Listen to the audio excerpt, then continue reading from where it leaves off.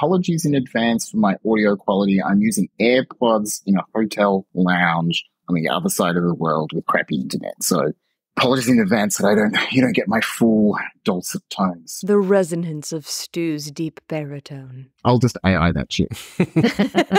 oh, God.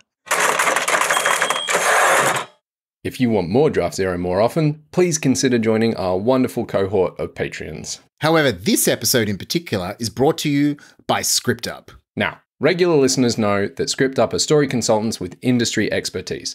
They don't promise any of that access to market bullshit. They just help you make your script better via their excellent report and a follow up feedback call.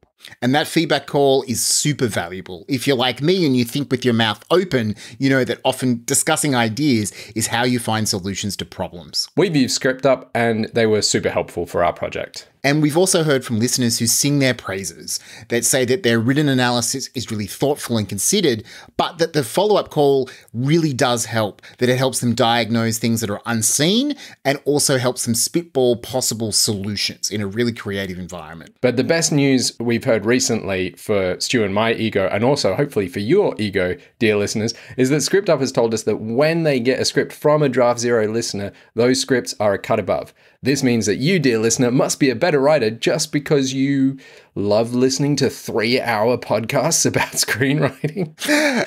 Jokes aside, I think having a shared passion for the screenwriting craft, and that's why we're all here, is awesome. Ego stroking aside, if you would like 10% off ScriptUp story consultancy services, please use the promo code DZ10. And you can find the links and the promo code in our show notes.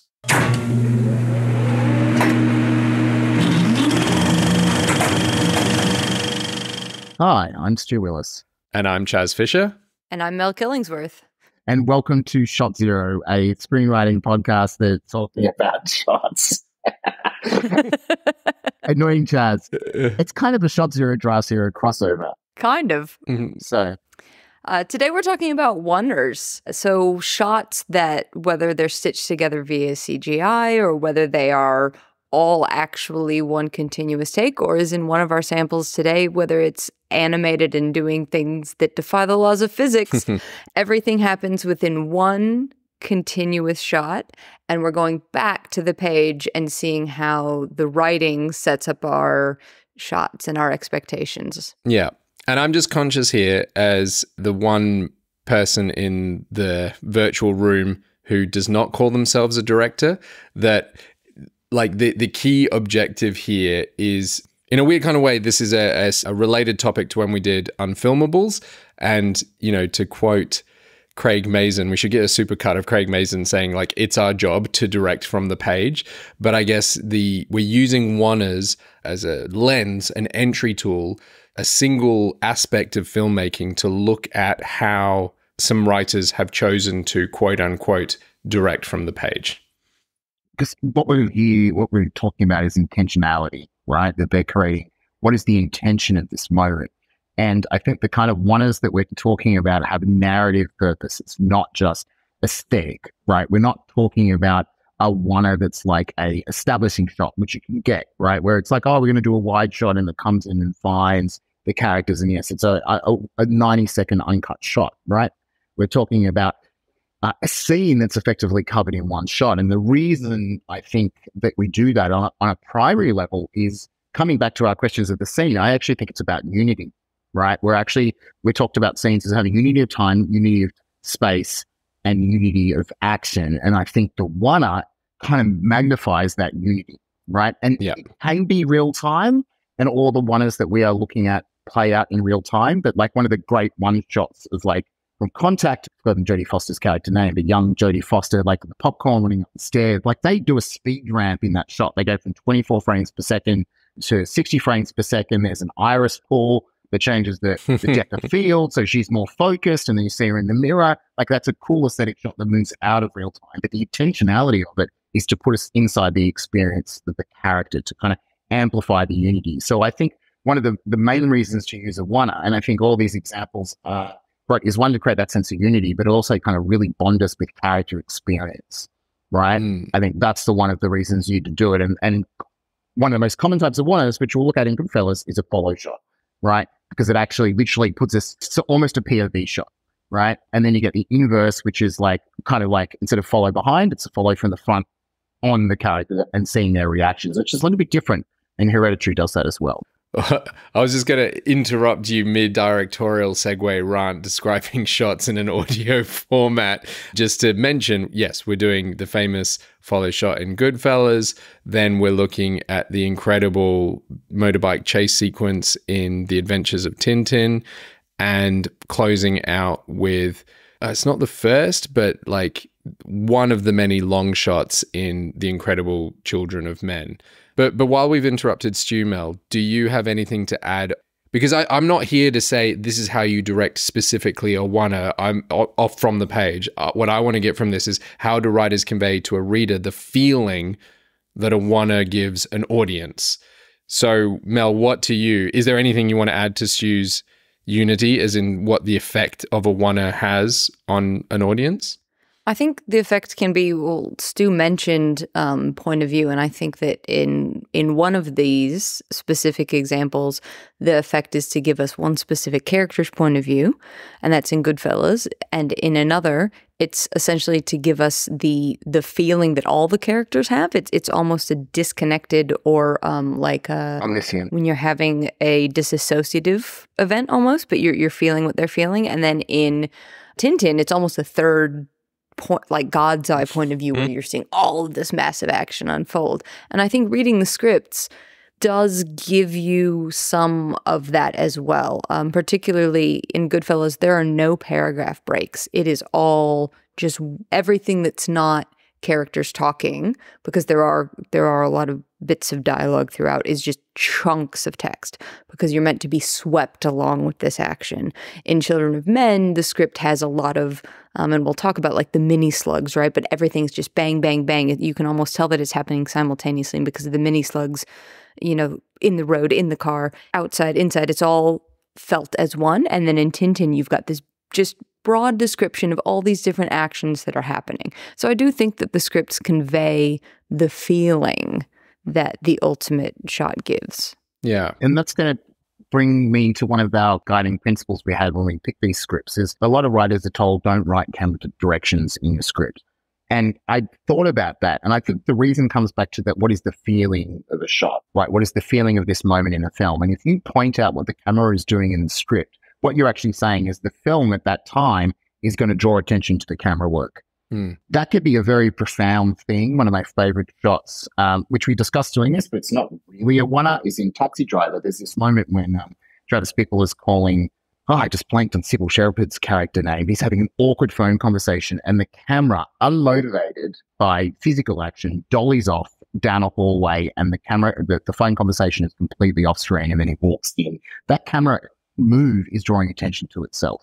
Yeah. Right. It wants you to go, I can't look. And it becomes a feeling, but it's like the intellectual. And you could write that in, we dolly off. Hmm. And Taxi Driver has a few of those moments. We also spoke about something similar in The Invisible Man, Mm. how often the camera would deliberately like move off or like track into an empty space that either the character was looking at or not looking at to make us feel that someone was there, whether we knew they were there or not. Mm. And that could very well be written in the page. Yeah, and I think that the convention has changed a little bit over time. The oldest shot that we discussed doing is Touch of Evil, which is a very famous one, and it did give a little bit more camera direction on the page. Goodfellas, which is the oldest one of the three that we are actually covering, does a lot of that thing that now a lot of screenwriters tell you not to do, which is we see, we see this, we see that, um, and then neither of the other two do that. And so I think that a little bit of it is just that things do change over time, as Mm. well as again, you do have some writer directors, you do have some people who are writing to a specific audience. You know, they know who is going to be reading the script already, etc. So, you know, all rules are made to be broken, etc. I'm not saying it's a rule. I'm just saying in terms of if the goal is to write a, not a shooting script, but a spec script that creates the feeling of the movie, the danger of writing in camera directions is that you draw the reader's attention to Mm. what the camera is doing. Mm. And that is like the moment you notice what the camera is doing in the film. And that should be something you're under control of. Absolutely. And it often feels too didactic as well. Hmm.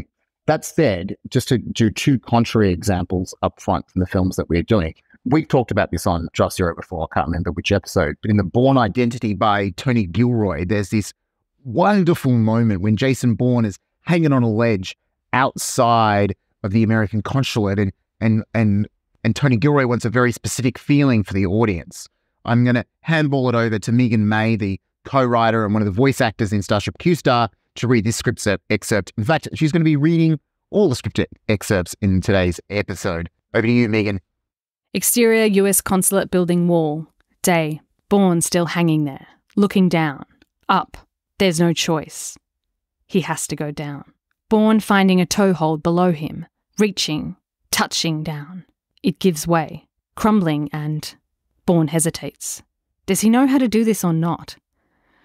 Stalled for a moment. Then, Bourne starts climbing down, and this is all one shot. No cutaway, no cheating. We are watching a master at work. Handhold to a drain pipe, swinging to a better ledge, dropping to an air conditioner, grabbing a window frame just before the air conditioner gives way, teetering there. Now he's on the fourth floor. right, and then it and then it just goes in and blocks out the action. So you read it with the idea that this is meant to be one shot. In the film, it is not one shot. right? He had lofty aspirations. What's cool about the this is all one shot, no cutaway, no cheating is coming back to the unfilmables thing. He's telling us what the camera is doing. He's telling what the intention is, which is to make the stunt feel real and to make us feel that Bourne is the real deal, right? A master at work. So it comes back to that idea that it clarifies the intention. This is in contrast to Hereditary, the end of Hereditary. We come to a close up of Peter. He looks confused and scared, although not in a way that feels like Peter. We will hold on this close up for the remainder of the scene. The sound of someone rising. This person, Joan, shuffles past Peter to lift the crown off Charlie's head. She then comes to stand, now off screen, before Peter. After a moment, the crown enters frame to be placed ceremoniously onto Peter's head. In italics, we will hold on this you the remainder of the scene, right? What's interesting about that moment is that then he talks about the sound of someone rising. He senses something behind him. So he, he is so consciously aware that the shot is just holding on Peter that the big print changes to reflect the fact that what we are hearing and seeing is well, it's basically what we are hearing and his kind of reaction to what he is seeing. And it's written from that point of view and it's very clever. So as much as it's got this kind of like what we used to call an instructable, right? It is clarifying in the big print what the experience of that moment is. And that's why I think it works. So I think, you know, coming in and going, you need to write what the experience of this is. And so if you're thinking as a writer about writing in a one up, right? Or something that is like long playing, you have to be thinking about what is my intention here? Right? And what do I want the audience to experience and trying to reflect that mm. on the page. And I think Goodfellas is a great example of that. Mm. I'm going to just briefly squash your brilliant segue there, Stu. Like, I want to reiterate your point that we've chosen three examples where the the oneer or the the feeling that the oneer gives in each of these examples is a has a narrative purpose to it. But you're drawing, a, I think, a good distinction between when you're writing camera work into the script, you're kind of in a way bumping the reader out or making the reader they're not in the story they're thinking about how the story is going to be presented. And i do think there are oneers for audiences that deliberately do the same thing mm. right? There i think there are a lot of oneers out there that don't serve any narrative purpose. It's just they're there for people to go did they cut? Isn't that amazing? Oh that's so pretty but if it goes on long enough, I do think you loop back around. Like yeah. we talked about the bear, right? Like so the bear, they do an entire episode that is a oneer. Mm. And I start watching and I'm in it. And as soon as I notice like five minutes in, I think, oh, oh, they're doing this, they're doing this. But then you just get carried away in it mm. and you forget that that's what they're doing. So if it goes long enough, you almost fall back into it again. Yeah. I mean, just before we jump into that, and we, we're not going to do as an example, look, the difficulty with the one is you get like the 1917 problem. I describe 1917 as my favorite video game adaptation. It feels like Medal of Honor, World War One, the movie, because like so committing to the one, they have to create contrivances in the narrative because there's no time jumps, right? There's so much unity of time, unity of action, and unity of space mm. that they can't have time jumps. So everything is conveniently at the exact right time, and it feels like a video game where you just finish the action sequence and the next cutscene starts, but there's not you know, within the, the game engine. So I think that's what's interesting about all these three examples is they don't feel contrived, right? And I think sometimes you get that kind of contrivance, you know, the kind of action movie one shot of everyone fighting and it just happens to be perfectly timed. Yeah. And I think, uh, you know, we're already talking about Cuarón. So we polled our Patreons and there was a lot of great TV examples, like um, Mel's mentioned The Bear. True Detective came up. Uh, I really wish we'd been able to do that episode of The Haunting of Hill House, which is also a one, but does like intercuts the same characters but in different ages. So they move from the haunting when the children are young to the to a funeral scene when the children are all middle aged. Mm. Uh, but it's all one and and it's as they f- physically follow the characters. And I would have been fascinated to be able to find the script to see what he was doing on the page there. Like I presume there would have been intention written into it as well because it's such a stark confrontation it's like a Brechtian distancing thing initially, right? Like it is drawing attention to the fact that this can't be continuous action. So why have they done that? So marvelous Mrs. Maisel, Breaking Bad. Yeah, I had several marvelous Mrs. Maisel oners in mind as well. I just I couldn't find any of the scripts for the right the ones I wanted to study. Often there are pilot scripts out there, and then occasionally you'll find like for your consideration scripts of particular episodes, but other than that, it's really hard to find. So thank you, patrons, for all your amazing suggestions. But uh, these are the ones we ended up with. So now I'm going to reopen Stu's amazing. Uh, it's the famous shot. It's the famous Copacabana shot. If you haven't seen it, Goodfellas is about a guy played by Ray Liotta named Henry who always wanted to be a gangster. And in this scene, he's taking Karen, his girlfriend, to the Copacabana nightclub and he goes in through a back entrance and he's trying to show off. Goodfellas by Nicholas Pileggi and Martin Scorsese. Exterior Copacabana night. Henry gives the keys and rolled up $20 bill to the doorman at the building across the street and steers Karen towards the Copa. We see Henry deftly steer Karen away from the Copa's main entrance and down the basement steps. A huge bodyguard, eating a sandwich in the stairwell, gives Henry a big hello. We see Henry walk right through the basement kitchen, which is filled with Chinese and Latino cooks and dishwashers who pay no attention. Karen is being dragged along, open mouthed, at the scene. Henry starts up a stained kitchen staircase through a pair of swinging doors, and suddenly Karen sees she is inside the main room. The harried maitre d', he is surrounded by customers clamouring for their tables, waves happily at Henry and signals to a captain, we see a table held aloft by two waiters wedging their way towards the stage and plant the table smack in front of what had until that moment been a ringside table. As Henry leads Karen to their seat, she sees that he is nodding and shaking hands with many of the other guests. We see Henry quietly slip $20 bills to the waiters. We see the captain approach with champagne. Karen watches Henry turn around and wave at a 280 pound hood Henry turns to the stage where the lights begin to dim and Henny Youngman walks out. This is also a sister episode, I think, to our White Space mm. episode. Yes, 100%. Because what I like about this episode is I think we've got good examples of actually when a big fuck off block of text can actually serve you well in terms of that feeling mm of mm. immediacy ongoing. It's breathless. It's literally breathless. Like Stu's trying to read the whole thing and it's breathless. And that's how you feel watching it. There's that continuity of action. There's the continuity of action. The repetition of the we see does that continuity as well. What's interesting is it's actually the we see is calling out what bits of choreography we are catching and then coming back to our main point of focus. So without overly getting into how you direct a one is, and I think the longest take I've ever shot is like two minutes. Uh, Mel might have more experience of it than me. Um, but you, in camera terms, we often talk about positions. So you've got like, and that's related to Mark. So you've got first position, second position, third position. That's where the camera is, or the actors are, focus points, etc. Um, and so something like this is calling out the positions of where the camera is meant to be pointed.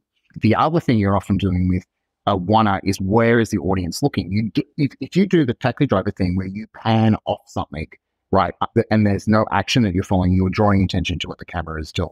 So this oneer, they're following behind the character, so it's on a steady cam. The camera operator is walking behind the character, following them, noticing things that are motivated by action, and then coming back. And so the script is calling out the key things that the camera needs to see, right, without going into what is the actual choreography of all the elements in play. Now, like just in terms of like fashion and style, I feel like now there would be an expectation that each of those sentences would be like a separate paragraph just hmm. to bla- break up that block of text and maybe there would be less we sees but then what i think that would be replaced with is some form of repetition at the beginning of the sentence to to keep that continuity going and maybe either some ellipses or some double dashes at the end to make it feel like it's flowing on. Or you might do we follow with, yeah. right, at the beginning. We follow Henry. Yeah. Dash dash or colon. He, he drifts through the, you know, he moved, they move through the, yeah. dot dot dot new line and through the kitchen and like you could break it up but i think you would probably need to do something like the Bourne identity or hereditary and just give it a little bit of a framing device but it doesn't have to be we steady cam like there's plenty of scripts that i've read. True detective comes to mind because we brought it up that will do follow or we follow you know as part of the the writing because it's important right? We follow henry. It's not just what you were saying. The intention is we want to be with henry and more importantly we actually want to be with Cal in that moment. Right. this is her point of view Yes, this scene is all about how Karen feels. yeah Yeah. Like we're swept along into his world. And this is, um, it's actually cutting away from Karen uh, introducing her to her mother. And it's just, she's getting swept up with his charisma. We're seeing him do all these things. The whole point of Karen in this scene is just to sort of, we're following along on her back. And even though we see her, it's her point of view. Hmm. She's seeing him interacting with all these people. He's the one that's physically active in the scene. He's the one that's glad handing and giving 20s and everyone's greeting him and not her and they know him and he's hey how you doing you know and joking with the waiters making out in the corner and all that sort of thing and it's her getting swept up into his world and swept up in his charisma and like before she even knows it she's through this line and through the back door and seeing all these things happen and now she's in the front row and people are talking to you know so it's it's about feeling like her watching him and getting swept away into his world I mean, you could, if if you want to write this in a spec form, and this is me just spitballing an idea, rather than doing something more technical like follow, you could do Karen and then brackets and us are swept up with Henry as he Mm. boom. And so you're actually describing the emotional effect on the character. And so that makes it feel more justified to be in the script because it's about emotion, not technicality.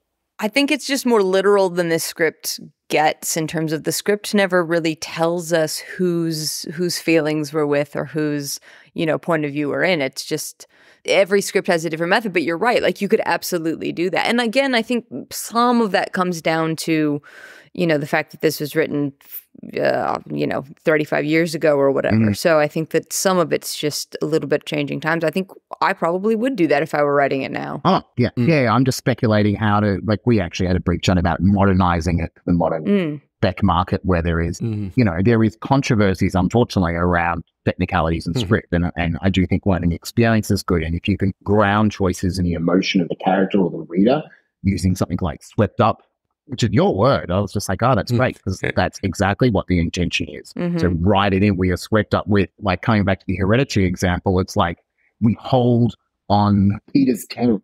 Right, like he just says, we hold in this in CU. It's a little bit more instructive, and he writes it in italics. But it's he's a writer director. But I think respectfully, I would probably try to frame that we hold in the close up with the character's emotion.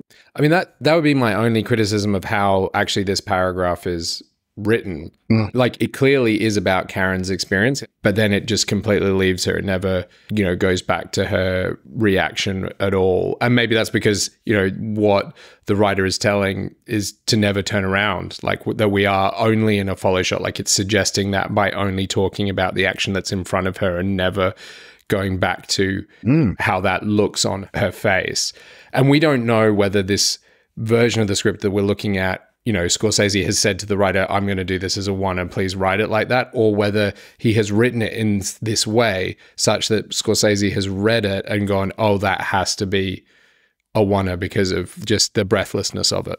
He's co-wrote the script, so it's possible that he specifically wrote in the we see to be a checklist for everything that like he's actually come up from there. I need these actors, I need this. These are all the choreography that we're going to have to work out that we can then time and capture. You know? And I think the specificity of even the types of people who are in the background suggests that because he's clearly drawing that class distinction. So the specificity of the you know the people who are in the kitchen versus the people who are in the the main room like that's very very intentional Yeah. so i definitely think that there's some of that that flavor that is sprinkled throughout suggests that whether he wrote it co-wrote it Mm. told the writer what he was thinking like oh i want this to be a scene that shows you know class and the light and dark and the this and that i think that that's all clearly suggested Mm, I feel bad. We should actually say who the it's on the yep it's nicholas Pileggi. Yes, I'll ask the Italian to pronounce the Italian. it wouldn't be a draft zero episode without a very poorly pronounced last name. and I, I mean, we can wax lyrical about the writing and the directorial choice here, but we could all imagine the MTV or, you know, into the Spider Verse edit version of this, Yeah. where it's just like constantly cutting very quickly to what Karen's seeing and then back to her reaction as it is like just all about her, you know, being overwhelmed by and trying to uh, replicate that in the audience. And obviously, this is a very different choice. Well, they could have stuck in a camera in the corner. Like, so you see them cross the road, you see a camera in the stairs, they walk past the camera as they go down the stairs, you stick the camera in the kitchen, and it kind of just pans with them as they walk through Hmm. the kitchen. And it's got some nice shoot through, so you get some nice foreground action. And we've seen those shots before foreground action, you see them in the background, cut, cut. You pick them up on the other side of the, as they come into the restaurant, and you kind of again pan or track with them. Like, this could have been many, many shots Yeah. to kind of get those moments and still nicely choreographed. But the way it is written, that kind of breathless style, as Mel said, is like we are in the moment, experience it with And as you say, it's about Karen being kind of in awe. Yeah, because I think the technique that you're talking about makes her feel almost frazzled. It Mm. makes her feel like she's overwhelmed. It's like a sensory overload. Whereas with the oneer, you feel like she's carried away and she's a bit overwhelmed, but it's not an overload. It's her along in the wake of Henry's impeccable charisma. So I, I think that, you know, sometimes you can get across the same feeling with different techniques, but I really think that this technique is is you'd get a very different vibe from Um, different, you know, what you just discussed as opposed to even a follow going the other way. It's showing us what she's feeling instead of putting us quote unquote in her shoes. Yeah. we very deliberately chosen i think there's a real virtue to having one oneers that is performance based as well but they don't need directing from the page to say that so one oneer that we considered is that amazing scene in hunger where it's just you know that two shot of these incredible performances talking after there has been so much silence in the film before Mm. and you know once again it's a writer director co-writing it, but there wouldn't have been much I think reason on the page to draw attention to that choice. It just been like the appearance of dialogue on the page after so much white space and action would have had a similar effect. Like, you know, the eyeballs would have been sucking up that dialogue. Mm. And obviously it allows actors to be more in the moment. And so there are performance reasons. And one recent performance that wasn't a oneer but was shot that way is famously the, you know, the succession scene. And I'm gonna Mm. Not spoil anything for Stu, who has not watched any Succession, and I'm just going to shame him in that way. But they deliberately put a number of cameras fixed around a room and let the entire scene play out to try and capture a different style of acting performance in those scenes. I think Stu might be slightly spoiled because I did this on Shot Zero, where I found that the cutting from the one to the other was Yeah, yeah. And the lens, focal length change, making it jump. hmm The other related to Hunger, one of the other famous one shots, which is Hunger is probably taking inspiration from, is the phone call from All the President's Men, right? It's just a six minute tracking dot into Robert Redford while he's calling a contact and he's got multiple phone calls. thing is, you read the script and it's just literally him on the phone. So you sit there and go, what am I going to Mm. cut to? right? You could sit there and go, we're going to shoot it from two angles. Right? We're going to maybe we'll have to do a bit of coverage. Fincher might cover it, right? You know, he might do a French over from up and above, which means French over is from behind over the shoulder. You know, there's ways you could shoot it with coverage to give yourself performance options. And in fact, the tape that they've used of Robert Redford, he actually fucks up the name. He, he butchers the script, then he's in the zone, so he picks up and corrects himself, and it actually makes it feel more real. And the great thing about that shot is they've got all the buzzing background of it being a a newspaper and to get a lot of background action that's not written into the script. And then you dolly in, and then it kind of just isolates on Redford's character, uh, Bob Woodward, as he kind of basically cracks Watergate. Mm. It's a great shot. But again, it's something that when you read the scripts, you're like, yeah, I, I can see why the director came to this conclusion. Oh, this is a way to do this. But it doesn't come across as intentionality from Mhm. William Goldman.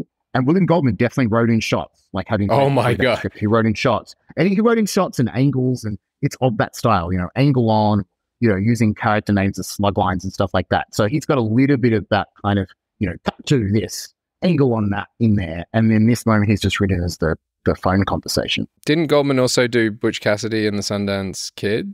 Yeah, But that's got like I, I read the script for that once, and I'm I'm going to butcher this. I'm- I'm paraphrasing from memory, but it was something like, "This is going to be the longest, fastest dolly shot in the history of cinema." Doesn't he write freeze frame at the end of that as well? I can't remember. That's the one that stayed with me. I'm pretty sure that's actually written in the script, which is again, it's just. But I guess when you're William Goldman, you know, you can do that. Yeah.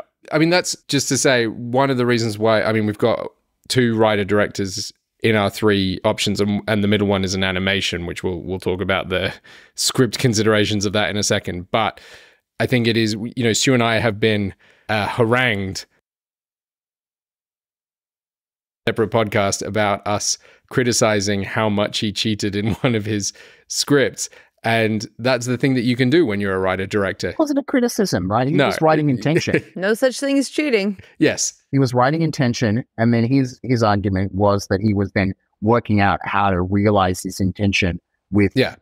the, the practical execution of it. And I, I think intention, all the what things that Mel was describing about this shot in Goodfellas, you know, we're about here and it's not about it being fostered. That's intentionality.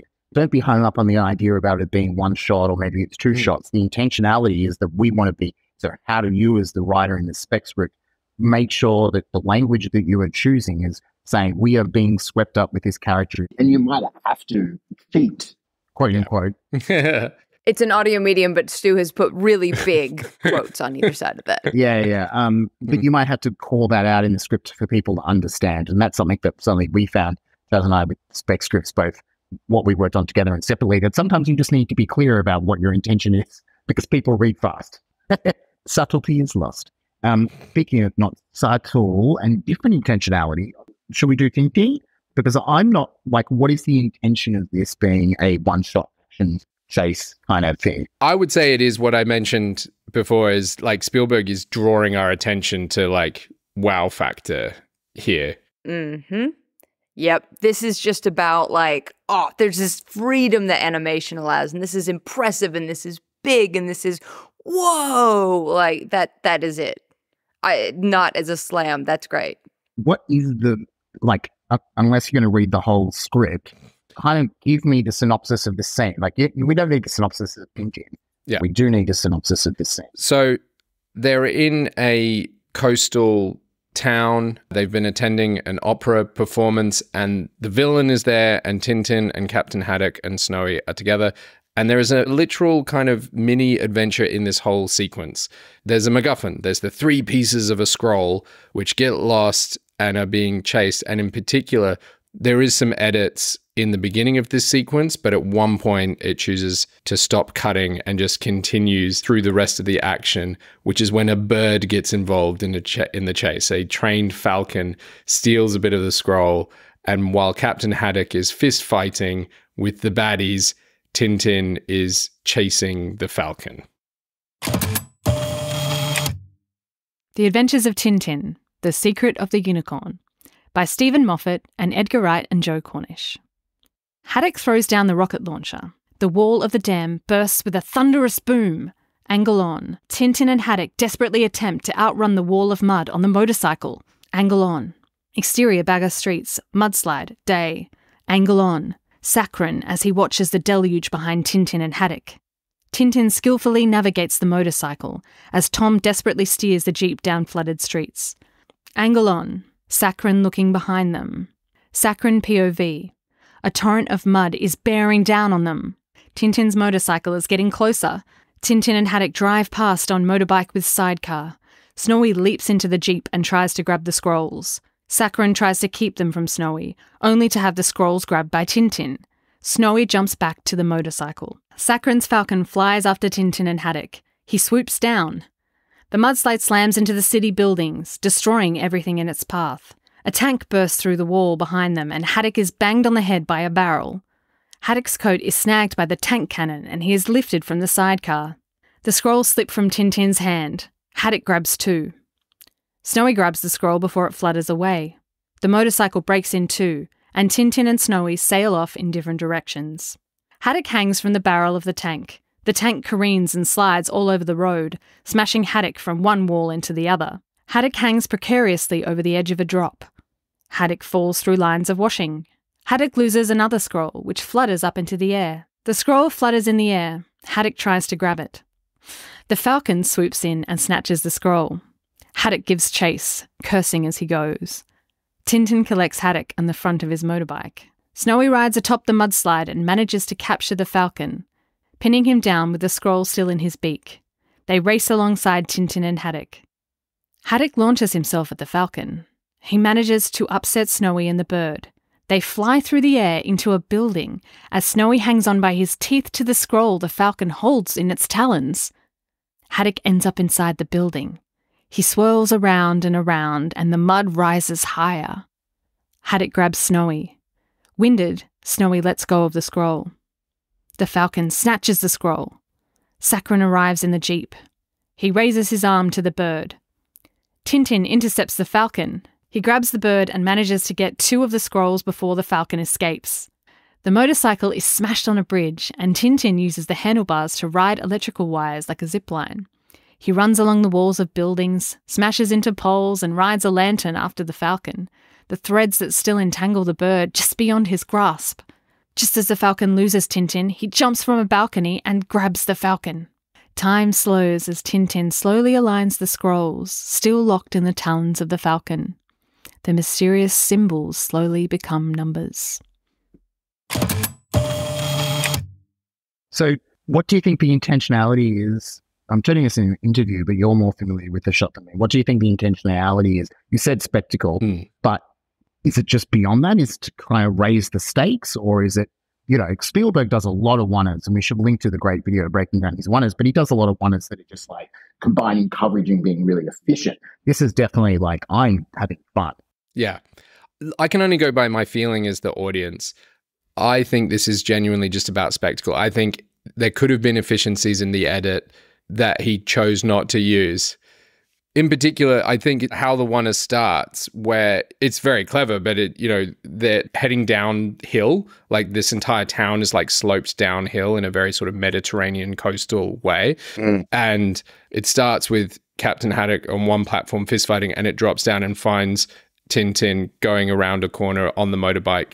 And what I like about the script is it doesn't ever draw attention to the fact. Now, so you, you've worked in animation a long time, and we've spoken about animation before. We don't know how much this script was just like a transcription of previs, so we don't know. But it is never at any point saying this is all going to be one shot, and it does move between the different characters and the different actions, and it keeps the characters capitalized which I think is really important for the read. And it starts each line with the character in cap. So it's kind of like you were talking earlier about the positions in the oners, it's orienting you in the action as to what you're looking at and who's doing what.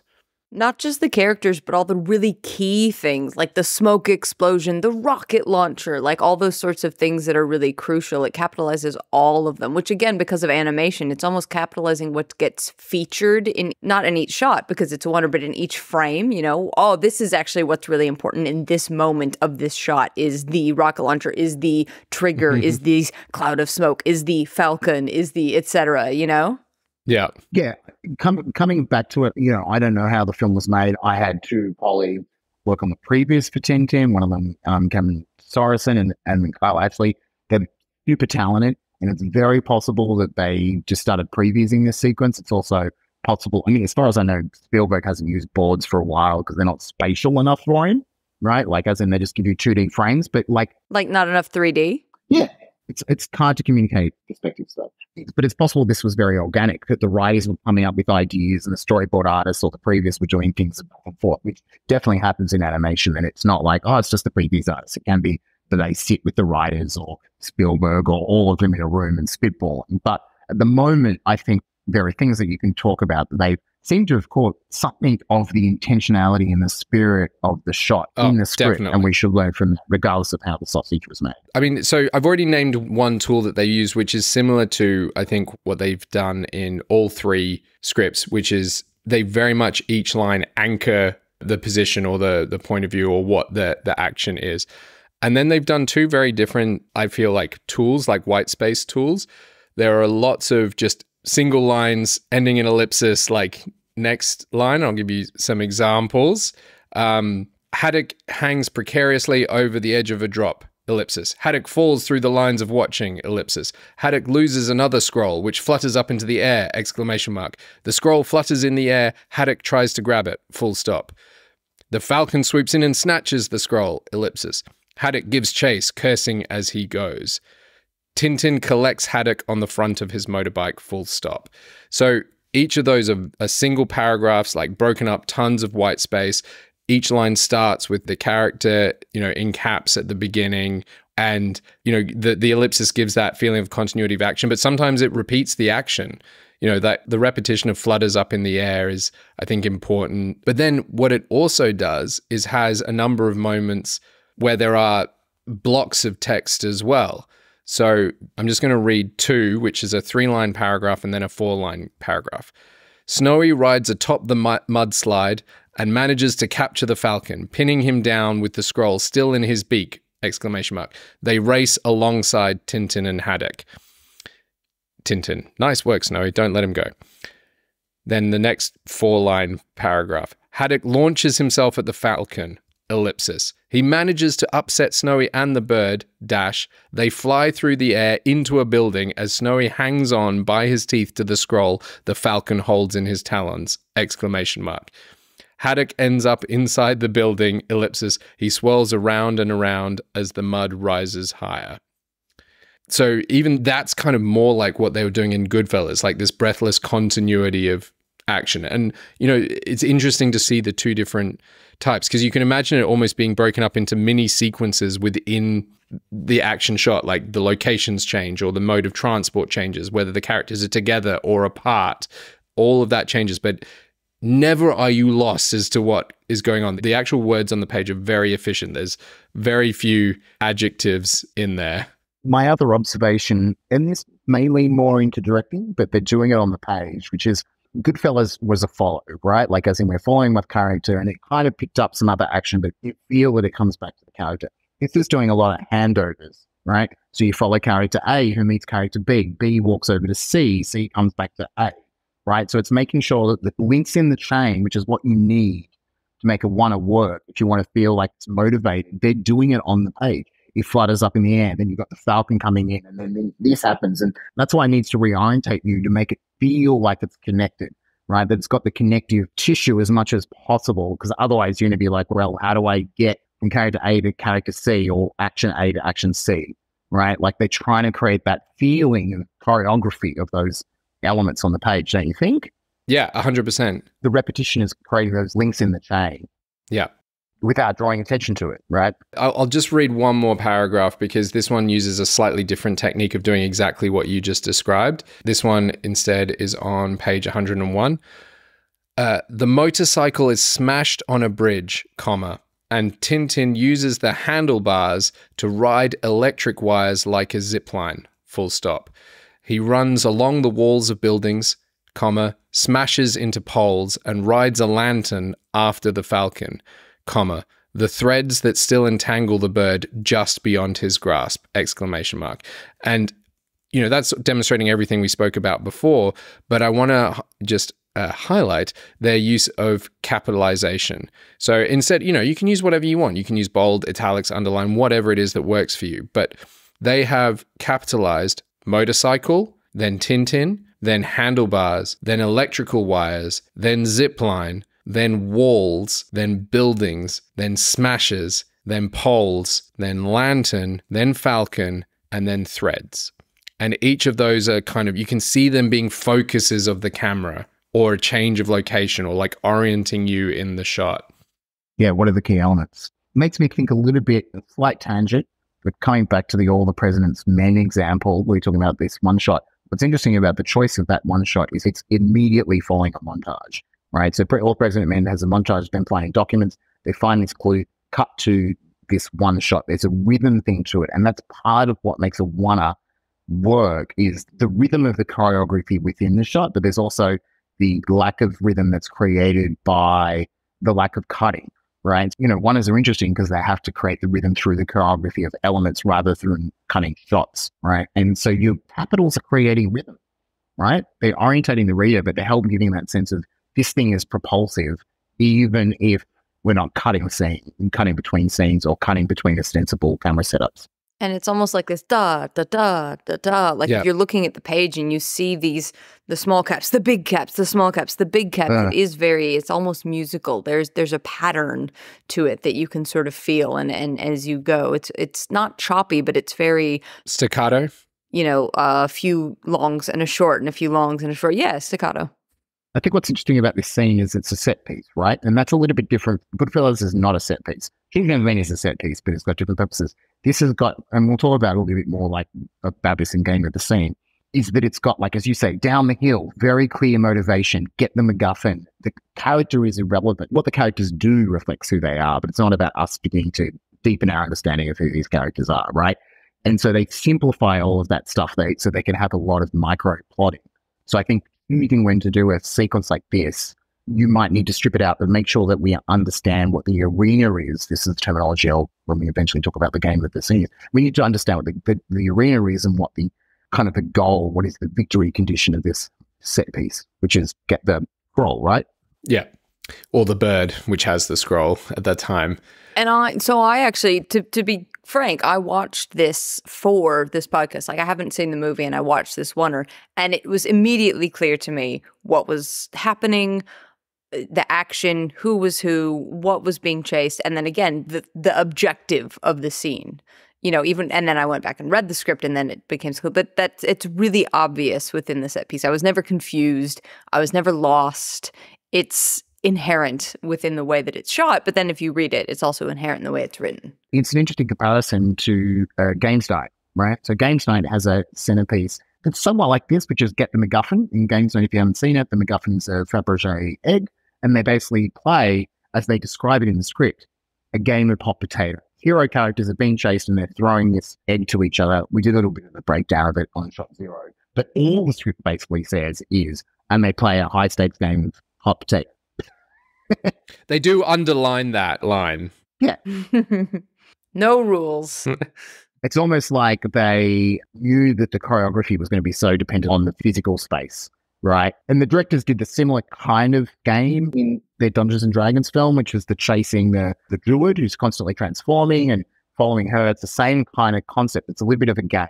And they've done it as a one to kind of emphasize that. But what's interesting about the script, as you highlighted, is they're actually giving us the detail. They're not relying on, I mean, maybe they did storyboard it and they did a postscript on it, or it's a combination of all of these elements. But the fact is, even if it's a transcript, it's an incredibly good transcript and effective one of creating the feeling. There's so much micro plotting, like even so much more than. I mean, in Game Night, they've not done any of the micro plotting, perhaps deliberately, but in Dungeons and Dragons, again, that what that doing that scene as a oner actually does is as much as the character the audience is behind is the druid, it kind of puts you more in the empathetic position of the guards chasing her because she keeps, you know, disappearing and reappearing, and you're kind of surprised as they are when she changes or what she's doing. It makes her look awesome. Yeah. That's the intention of that shot. It's about how clever she is It's like a not an arc of awesome, but it's like, yeah, this character's cool. yeah. It's what we talked about before. Sometimes if we need to make a character feel impressive, like Sherlock, we actually have to mm-hmm. withhold information from the audience that we are surprised by what they are doing, and that makes them seem smarter. If we're ahead of the character, it makes them seem dumb. Yeah. All right. Well, do we want to go to our final Yes. example, which is one of the. It, there are so many great oners in Children of Men that when Mel said in her thread, the car one, I thought it was a different oner uh, because one of my favorite shots in Children of Men is when they're escaping the farm and the oner uh, starts with him pushing the car silently down the hill and it stays with them like in and out of the car as people are chasing and goes right to the bottom of the hill. And the holding in that oner makes you feel their terror. Like it really makes you empathize with them because you know, most people who've had a manual car in their life have had to push start a manual car and know what that terror is like without people chasing you and trying to shoot you. But that is not the shot that Mel has selected. Too many oners in a great, great way. so, Mel, which is the the moment of Children of Men that you've selected for us? So I've chosen what I think is the first big oner. We we definitely have a few that track through uh, the streets, but I wouldn't necessarily call them entire scenes. They're more they're more world building based. And the one that I've chosen is the one where Julian and Theo are reconnecting, and then all of a sudden while everyone is in the car, terrorism happens and, you know, chaos ensues. So if you haven't seen the film, right? So I don't think we need to do a synopsis of the whole film. You've essentially got uh you've got Julian and Theo and we know they have a past. We know they used to be married and they're not married anymore. And we know that Julian is still an activist and Theo used to be. And Julian has kind of dragged Theo back into this world because there's these other three characters in the car, and there's this activism that Theo's still a little bit unclear of that they've sort of dragged him to look, help us do this thing with this young girl. You'll be well recompensed and you'll, you know, come back to your roots. So you've got different people in different stages of their relationship with different motivations all in the one place. And we're still a little bit unclear what they are. And one of the other things that fascinates me about this is that the action in the script remains almost the same as what you get in the film. However, the dialogue and the conversation that happens is completely different.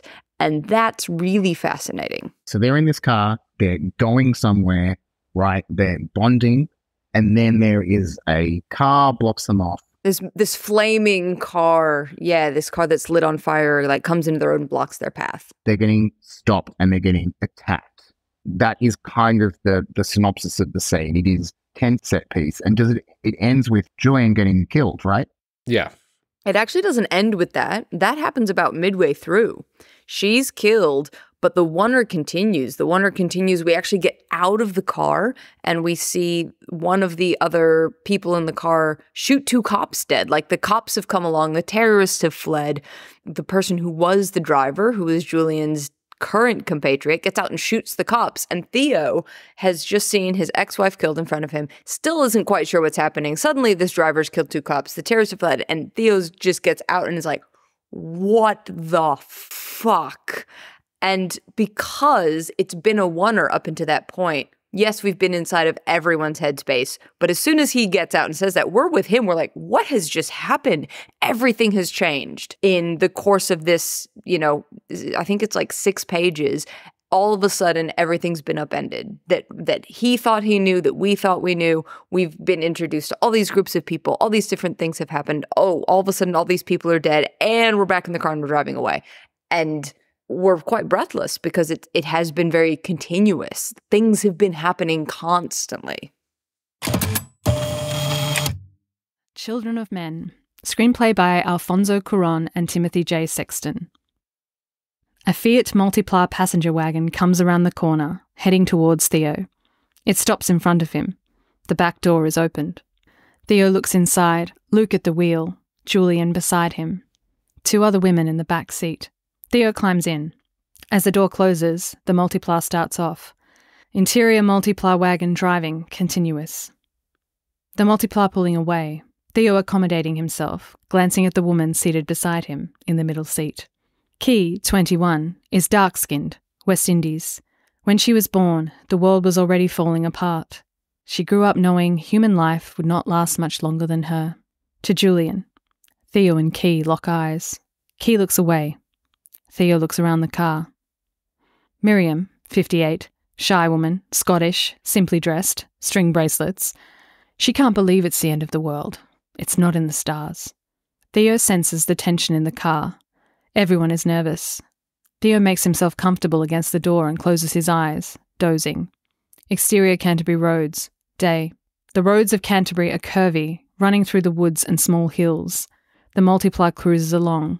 And this is where the one actually begins. Interior Multipla driving, day. A hand reaches over, nudging Theo awake. Theo's eyes open. Julian smiles.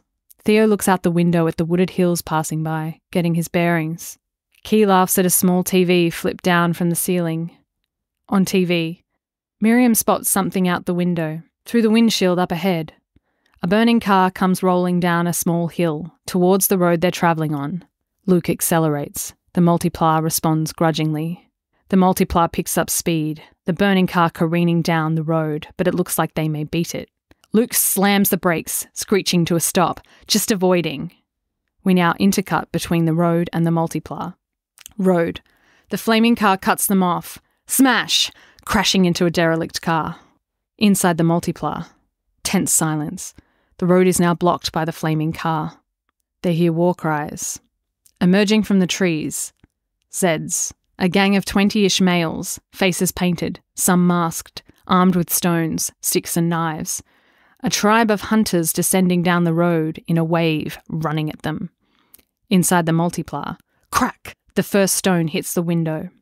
Instead, Luke throws the car into reverse, screeching the car backwards. The Zeds upon them, running down the car. Crack! Sticks and fists pounding, bodies piling on. Luke keeps pedal to the metal, screaming in reverse, the last Zeds dropping off, giving chase, but can't catch up. Road. A lone motorcycle comes from behind the burning car, two riders in masks racing through the Zeds, accelerating towards the Multipla, coming closer. Inside the Multipla. Luke can't go any faster backwards. The motorcycle catches up, running alongside them. The Zed on the Zed on back looks in the car, his eyes visible for an instant through his black mask. Luke accelerates and the motorcycle drops back, riding now in front of the car. Theo sees the Zed on the back of the motorcycle rise up. He's aiming a high powered rifle at them. Bang!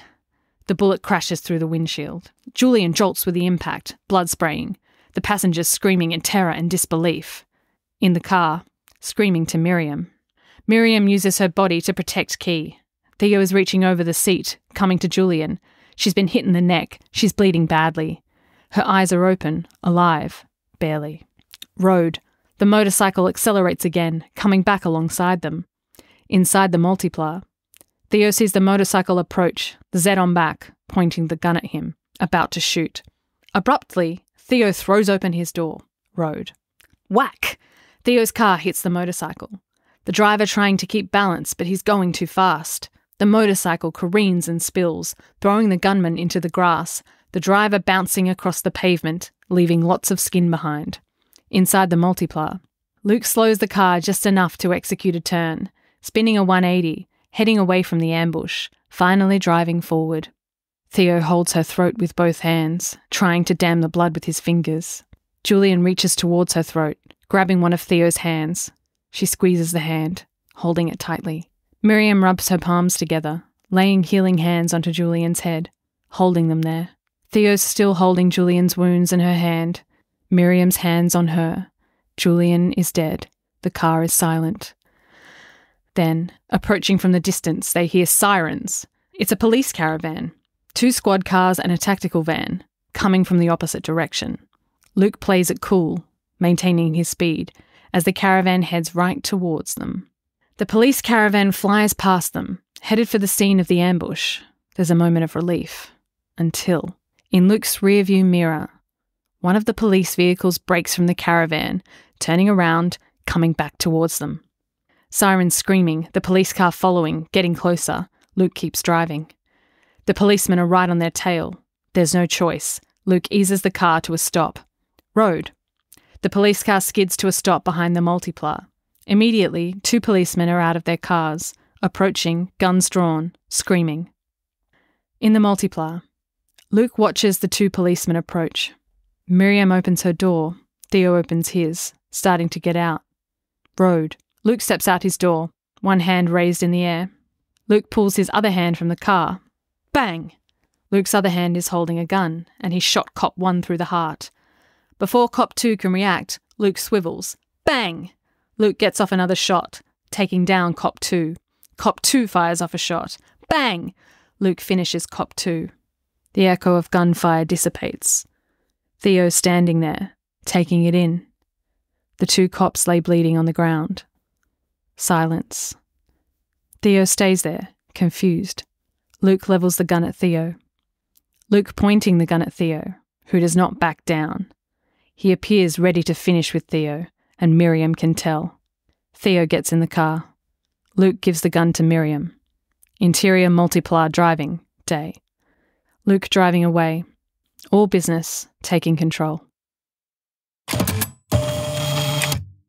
There's a lot of things that you can find about the direction of this in terms you know you go on youtube and they show how they you know cut the car apart and here's how the camera is mounted and all of those sorts of things if you're interested in the direction. But i was really interested in fact when i picked oners this was one of the first ones that came to mind is i wanted to study how this was done on the page and why.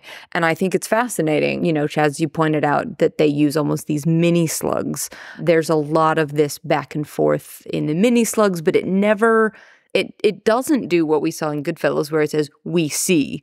And it's not something that on the page feels like it needs to be this epic set piece, but it does have this idea that all of these things are happening at once. And I think that doing it as a oner instead of a ton of different cuts makes you feel how simultaneous and how terrified and how instantaneous your reactions have to be, whether those reactions are terror, whether those reactions are shooting people, whether those reactions are that fight or flight, right? It puts you in that fight or flight mindset of all of the characters who are in the car with you.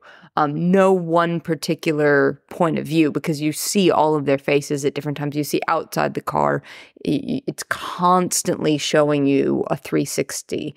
Um, but I think this this oner is is all right. So what are they doing on the page to kind of create that. So there's these mini slugs. So what we're talking about is stuff that's not a specific like interior exterior. It's just something like in the multipla is what they is that how you even say it? I think it's multipla. Yeah, that's like in and then road, but they're not interior exterior daylight. They're just capitalized. It never says interior exterior. It's on its own line. And we do get one or two other things that say emerging from the trees, which just signifies like a direction or a vague somewhat something is coming from, but it's not interior exterior and it's never calling attention to itself. It just kind of happens along with all these other lines that are coming bang, bang, bang. It helps orientate you though and kind of breaks up. Yes. This is what we are with. This is what we are with. This is what we are with, right? Before we even get into the drive, the script does take a bit of time to say where each character, who they are, and where they're sitting in the car. To your point, Stu, to like orient us for the dialogue scene and the position and where the action is happening when people are having to reach across. You you know whether where they're in the car they're reaching from and where they're reaching to. So it says theo looks inside luke at the wheel julian beside him two other women in the back seat very efficient but it's orienting us this is the scene before this is not within the oner yeah you know theo climbs in um, and then at the beginning of the next scene Theo accommodating himself, glancing at the woman seated beside him in the middle seat. And then it, you know, introduces the other characters, but it very firmly tells us who's in the middle and the back, who's on either side, who's like behind the driver, who's behind Julian. So we're well oriented before the oner starts. And I think that's important. It's we're oriented within the script. It's something that obviously when you're watching is almost inherent, but this is telling us where everyone sits is actually quite important.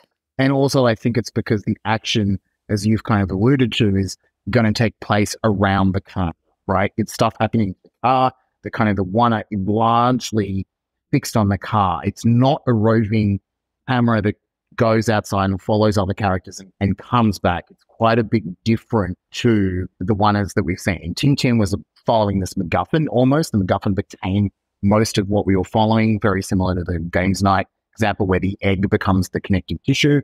In Goodfellas, the one is the connective tissue is almost the moving between real space, right? That's the other advantage. You, you know, one of the advantages of a wandering in a space is it makes it feel real because you feel the transitions, the boundaries. Because if you've ever worked on a soundstage where you've got real world external locations and, and internal sets, you don't often have the characters walk through doors. Hmm. or you put a hmm. green screen out the door so you can actually kind of get something that makes it feel connected. A one A helps sells the physical reality of an environment, and that's why some directors use them. Here, it's not actually about the transition of space. It's about the characters within the car and then what's happening outside. Okay. And so the, the slug lines are doing that. But what is I found really interesting is that it's written, most of the big print is written from the point of view of those inside the car.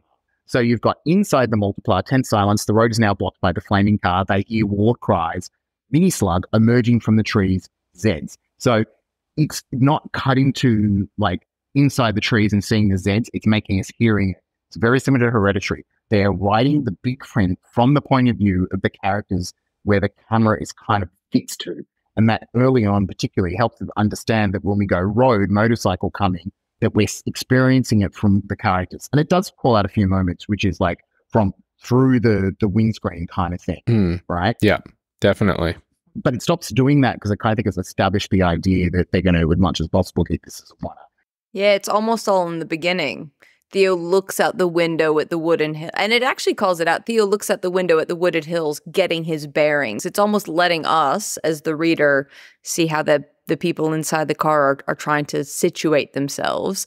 And then, you know, it does that a few times. And then once, you know, the once that flaming car runs down the hill, everything just keeps happening so much. Can I make an observation that, you know, first of all, Mel, it would be worth you talking about the big difference between the script that we're reading and what happens in the film in the first part before the burning car appears, because in the script, it's just dialogue. Other than Theo getting his bearings, we don't really have any indication that this is supposed to be immediate, urgent, real time, anything like that. And what they've chosen to do on screen, and I presume in a future draft, is introduce one of those moments that it's an incredible character moment, but it also draws the audience's attention to the fact that this is a oner. So it, I think that's, uh, I'm handballing to you, Mel. There's two big differences in the script. The first is that in the script there is something where it talks about there's a, a flip down TV that's playing this old British footage that Key, who's the new character, sort of the very unknown to everyone else in the car element, is watching and laughing at. And they've taken that out. So they've deleted that. Now, that could be a practical element because of the way that they've had to build the car, but I actually think that it's also it's something that could almost be too distracting. If you're trying to watch her and you're trying to watch the screen in something that's a oner, that's actually something that's quite difficult to do effectively. The second thing that happens though is they replace a lot of this dialogue between Theo and Julian with a bit about them passing a ping pong ball back and forth between their mouths. And it's something that it sells their chemistry it sells their history. She actually says, Do you know how many people I've tried this with and nobody's been able to do this with me, right? Like, so you've got this moment where it's like they're, they're still each other's flames, right? But on the page, what's important is character moment, and they've deleted a lot of the dialogue and replaced it with teasing dialogue and ping pong balls for character moments and physical and visual um, stimuli, which the ping pong ball serves as both. Yes. I think, and the purpose is part of it is that they want to make it feel real time. The tension in this scene comes from the fact that it is playing out in real time and the feeling of panic and the being surrounded. So the 360 move from a directorial point of view makes us feel the tension and the, the writing that's just like inside the car road helps create that sense of surrounding, but the 360 moves definitely add to that. What is interesting is that real timeness real time feel is in the big print. Okay. Often when we talk about writing, or even when I, I teach my like beginning writing students, it's like you actually want to compress time. Phone rings, character gets out of their chair, walks over, picks up the receiver, blah, blah, blah. That's normally stuff you just delete because the editor will delete it, right? We get no dramatic potential about a character getting up out of the chair, picking up the phone in a normal situation. Maybe it was a character that is like got their leg cut off and bleeding, you know, that adds more tension and them having to do it is like an obstacle. But in this, the big print is actually playing out moments in detail, right? The motorcycle creeps and spins, throwing the gunman into the grass, driver bouncing across the pavement, leaving lots of skin behind. Luke slows the car just enough to execute a turn, spinning a 180, heading away from the ambush, while driving forward. You know, and then there's more, particularly when once Julian is shot, where it's kind of going into the detail, how they're trying to deal with the wound, because that is additional tension. It's it's quite, a, you know, in a very clinical way, it's an obstacle that they're trying to deal with that's escalated the situation, right? That the, the kind of situation is one up. So the big print is actually giving us a lot of detail of the moment by moment that's happening in the action because it wants it real time. And I think because the moment is so tense that you can get away with that. that you don't sit there and go, oh, can this action line just be like, the motorcycle explodes? And instead it gives us the detail of like them tumbling and stuff. You know, it's it's alluding to the the stunt work, but it's actually more specific, keeping us in this, it's real time. They're not compressing the time in the the choices and the action lines. Yeah, like you said, it draws the audience's attention to this as a oner. Like, you know, to paraphrase Tony Gilroy, no cutting, no cheating, right? Whether they cheated with VFX is another question, but it draws the audience's attention to a oner before then the action starts. So I think that is a good example of when it's worth drawing the audience's attention to the camera work because it then sets up a narrative purpose. I mean, they're also they're not afraid of. Obviously, there's really super short single lines of action, but like Tintin, they're not, and like Goodfellas, they're not afraid of longer blocks of text. But they just like in Tintin, they're using punctuation to create that staccato feel. Mm. So you know, you've got instead, comma, Luke throws the car into reverse, comma, screeching the car backwards, full stop. The Zeds upon them, comma, running down the car, full stop. Crack, exclamation mark. Sticks and fists pounding, comma, bodies piling on, ellipsis. So the, you know, almost any, you know, subsection of a sentence in there is no more than three or four words. No, no. So it, even though it's not like having lots of white space, it's just like pounding you with the rhythm of the text and it's a very it's a very different type of rhythm than the other two Mm. but they all have their own internal rhythms like this one has a lot fewer it introduces stuff in the big text just the first time like burning car or whatever the first time it's all in caps the rest of the time it's just taken as part of the scene which is completely unlike tintin it's all like one line staccato couple of words here couple of words there there's a few like blank stares you know, spot something very short thing. So it's it's very different than the other two, but they're all establishing their own rhythm. Mm. So should we just quickly summarize? Like Children of Men, I think you know I was fighting for it to be the first uh, one that we did, but I think it's good that it's the last because I think it, it draws on all the tools that we previously identified from the two previous examples. For me, the big tools that it uses is to Stu's point, it suggests the oner by constantly orienting things from the characters in the car. Like you said, it's, you know, Miriam notices in Luke's rearview mirror through the windshield. And then obviously those mini slugs in the multipla, you know, or road, you know, the bike. I'm sure it's some sort of British specific car thing. And then what they've all done is, you know, they have thinned out the writing, even if they've used different approaches to white space they've all thinned out the pace of the words and the the length of the sentences and the use of punctuation. Yeah, and I think if people, you know, you will often get the note, oh, you need to write this scene from the point of view of the character. And what is interesting in all these scenes is the sensory experience is written from the point of view of the character. So it's worth studying the scripts of all these three films to see how they do that, particularly Children of Men, because of those connections to hearing the sounds outside, but also Hereditary, which we mentioned, because it speaks to intention. And look, you can absolutely do the Tony Gilroy no cuts, no cheating kind of idea.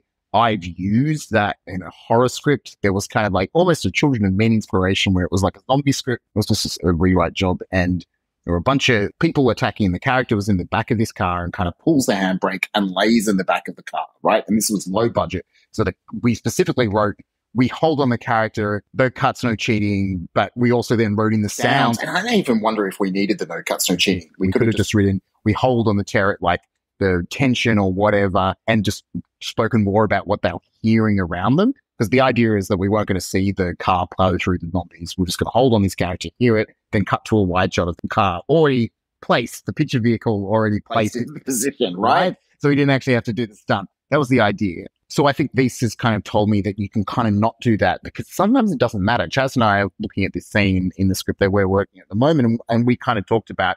I mentioned that I was thinking about shooting in the Wanna, but really what I'm interested in is the real time feel, and maybe it ends up being two shots that are properly cut right? That we don't try to stitch them because it's not about that. Maybe we do stitch them, but from the writing point of view on the page, the intentionality is that we this is playing out. This is a big horror moment. It's playing out in real time, and we are within the experience of our protagonist, and we should be writing it from what they see. So if these other characters come off, we don't cut to them. We may just talk about them being a murmur, hear their panic, right? And we don't write the dialogue. Like in a shooting script or on the day, we might have to write out what they're saying so the actors know what their business is. But the experience of the moment is that it's kind of myopic. Yeah. And like my key learning from this is that I've overwritten that. Like I'm really focused on like saying we are in X's point of view, like heartbeat thundering in his ears, that kind of stuff, because I'm hitting on the head overly the intention, and I think I can achieve the same thing by just shortening the sentences or shortening the clauses to this really tight format. And it could just be going the character, you know, we hold on Nicola if he is overwhelmed by because really what we're talking about is being overwhelmed. I mean, that's kind of what Children of Men is. It's not like anxiety overwhelm. It's kind of like literally just being surrounded in that sense of panic and the the kind of all this stuff going on in the real time, and it's like them struggling to kind of get control back. I mean, like, yeah, just a- another one. Siren screaming, comma, the police car following, comma, getting closer, full stop. Luke's Luke keeps driving. The longest section of sentence in that is four words. but it has talked about what the car is doing in a little bit more detail to create this sense of it happening in real time because there is tension in the police vehicles approaching, right? It doesn't just say the police vehicles approach or police vehicles thunder. It's kind of actually used a little bit more words than necessary in order to make it feel more real time. To me, anyway, that's how I interpret that. I mean, my key learning from the whole exercise, other than tightening the words on the page, is like that use of repetition and anchoring, like really at the beginning of sentences, mm. what's happening, where like orienting the read is the biggest thing that I think I've taken out of this. It does create an immediacy to to mm. write in brutal form, constantly starting with whatever the key either piece of action or, you know, key character that you're starting with. Well, like Stu says repetition, and I think that's one of my mine is like rhythm and flow. And, and you can establish that in different ways, whether it's how you use punctuation, whether it's you, how you use all caps, whether it's one big block of text, whether it's every sentence is its own line. You're establishing a rhythm and flow that fits the feel of your scene, and that fit is hopefully in service of your overall theme, your overall intent with the scene, your overall character's point of view, etc. So it it could change slightly, but that's what's super important is establishing that rhythm and flow. Yeah. Because what we're talking about is is creating immediacy and urgency and that seems to be the the way that these writers have all writing three very different types of scenes have all created a sense of immediacy primarily through rhythm. I mean, I think you say they're different types of scenes. I think they're all kind of set these scenes, right? Particularly Children of Men and Tintin are set these action scenes. And even if they weren't ones, they're worth reading in terms of seeing how they make excellent set pieces. And they've spent time polishing the pro to do that, right? They haven't done the equivalent of they fight, right? They've written in the action. Goodfellas is interesting because it's definitely a set piece moment, right, in the story. Her getting sucked into the underworld of the mafia, but it doesn't draw us attention. Like in a way, the All the President's Men conversation is a set piece, right? Like it's seeing Bob Woodward do journalism really well, right? It's a set piece by nature of being a oner, but it's not all action set piece per se. Yeah, yeah, but it's I mean dramatically it is kind of a set piece. Sure, dramatically, character, or it's a turning point, whatever. Same with hunger. That is a set, set piece conversation that's Yeah. really important. And I think that's, and I just think it's just interesting in the age of like these CGI ones, Yeah. right? Where you get like, oh, a bunch of CGI characters on the battlefield and the camera swoops between them to Mm. show the scale of the fighting and all that kind of stuff. But I, I think it kind of works backwards. That doesn't come with intentionality. And even Hereditary's end moment, that is the climax of the film. It's, it's why that it is there, right? To kind of hold with Peter. And interestingly, I think that's part of the reason we've been talking about it with Al moment. It's an absolutely pivotal moment for the character. And for us, the reason we're doing the quote unquote one really we're talking about real time, is to take the character from the point of confrontation with the horror to them making a really awful decision. And getting the audience over the line with that is actually like, let's just stick within this character's experience. And when they're like, we have to do this horrible thing, we know where they're coming from and we're kind of with them with the decision. And then hopefully, ultimately, when the character is confronted by the uh, dirtiness of what they've done, we are as well. So intentionality, it's all always. And so when you're directing from the page, I think what you really need to be thinking about is I'm directing what is the intention behind this. The, the, the directing cinematographer will work out how to realize it in terms of camera lenses and stuff like that. And maybe they end up using three shots. Maybe they use one that's stitched together.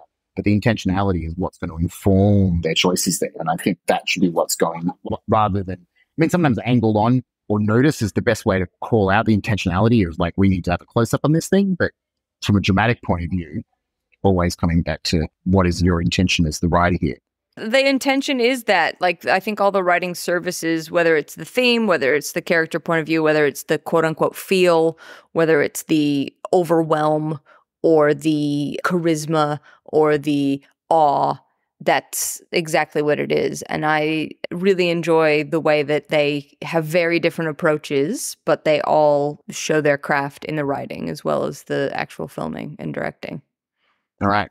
So, as always, thanks to our amazing patrons who bring you more Draft Zero more often, particularly when one of us is on the other side of the planet and then we will cross to opposite sides of the planet in a few weeks. You guys do it. And also, thank you so much for all the homework suggestions that our patrons supplied on this mm-hmm. episode. It was super helpful.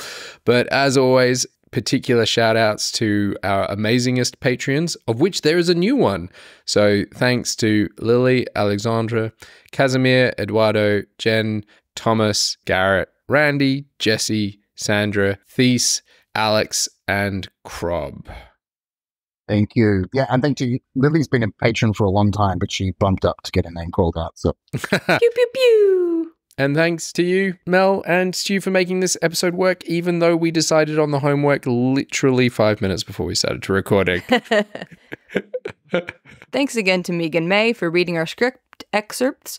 You can also hear her melodious voice on Starship Q Star, which she co wrote and co produced, and also is the voice of the titular starship on Starship Q Star. Pun intended. I hope you all feel like arguing with either Stu or myself. About anything on this episode or anything in general and you can find many ways of getting in touch with us at our website at draft-zero.com At the website, you'll also find the show notes for this and all our other episodes. as well as links to support us and spread the word for free via a rating and review on Apple Podcasts. Very important for spreading the word. Or if you think that what we do here is worth a dollar or preferably more than a dollar, then you can also find links to our Patreon page to support us getting these episodes to you quicker. Thanks. And um, thanks for listening.